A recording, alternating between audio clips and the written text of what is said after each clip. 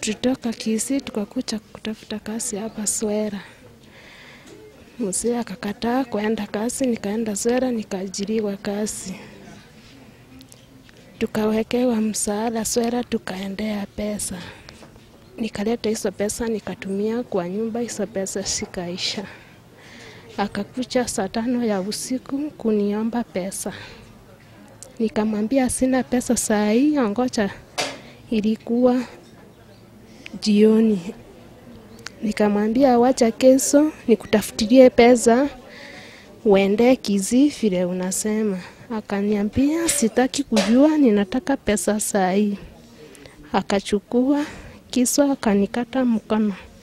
Wakati nilienda kuangalia mkono, akaniambia sijakufanyia kitu. Akakaa akakaa akachukua kishwa akaniambia, unachua mtu ana, ananyolewa na kishwa. Akaanza kunikatakata na, ki, na kisu. Badala aliona damu ilianza kutiririka, akatoroka sijui na, na mahali ako. Nikipona nitarudi kazi nipate pesa nilindie watoto wangu. Niko na watoto wawili, mmoja ni huyu nimeraswa hapa, anaitwa Kevin Okemo, akuna miezi tano. Niko na shida, sina hata watu wetu hapa, ni mimi peke yangu. Mi nilikuwa nimeendea mtoto wangu kwa bwanangu juu tumeachana kaa miezi miwili. Saa zenye nilikuwa nimeenda job hapo karibu kwao, alinikuta nikiwa na mtoto huyo mdogo na ni wake, akaniambia aende na yeye, mi nikampatia, akaenda na yeye. Kufika kitu saa saba nilipotokea job, nikaendea mtoto. Nilipoendea mtoto saa sijui vinye tulifanyana na yeye juu nilikuta kaa nimezilai nikiwa nimelala na mtoto.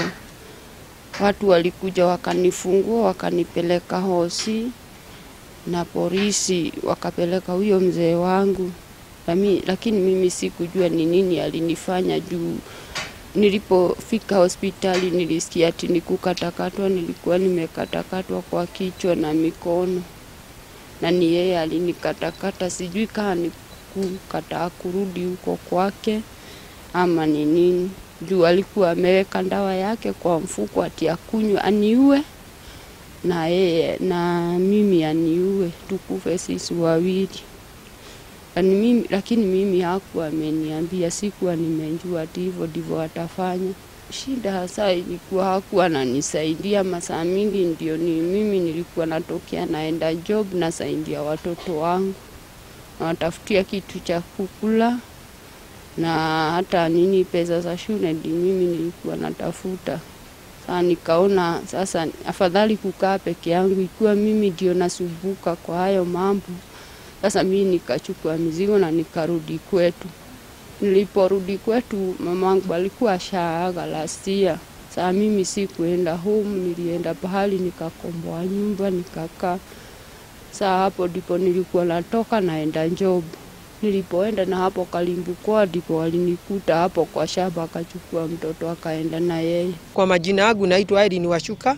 Mimi ni vice chairman wa maendeleo ya wanawake Laikipia County. in bracket mama yao inaitwa mama yao. Mimi siwezi nikasimamia kusema wanaume wakatakatwe vile nimeona huyu mama amekatakatwa, lakini nami sitasimama hapa niweke niweke muhuri ati wanaume wawe wakikatakata wa mama. Kama mzee ameshindwa na bibi, ngoja amuashirie arudi kwa nyumbani. Nawe mama, kama umeshindwa na bwana yako, usimkatakate, washiria bwana yako urudi kwenyu. Kwa hivyo mimi ningeuliza serikali hii mambo ishukuriwe hatua kali.